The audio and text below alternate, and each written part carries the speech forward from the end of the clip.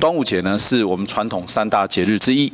这一次又是连续假期，所以预期会有大量返乡旅运的需求。呃，交通部现在已经拟妥了一百零三年端午节连续假期疏运计划。啊，我们还是跟以前相关节日的这个提醒一样，请交通部务必要落实这些准备的工作，并且加强督导各疏运单位。